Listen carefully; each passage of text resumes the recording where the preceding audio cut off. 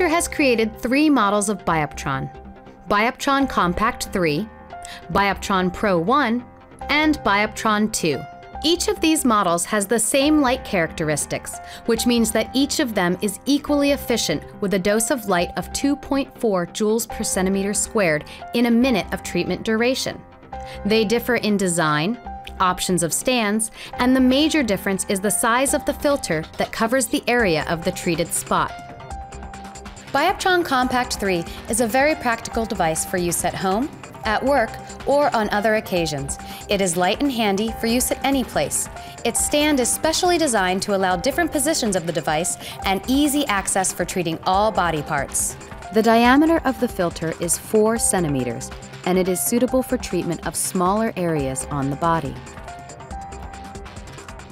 Bioptron Pro 1 is suitable not only for use at home, but for professional needs as well, like in medical institutions.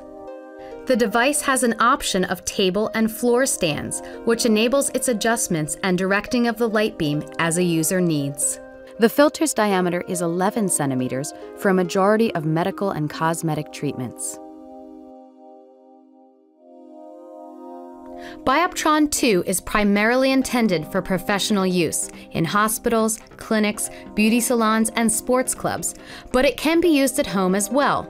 The device is set on a special floor stand, which enables its adjustments and directing of the light beam in different positions.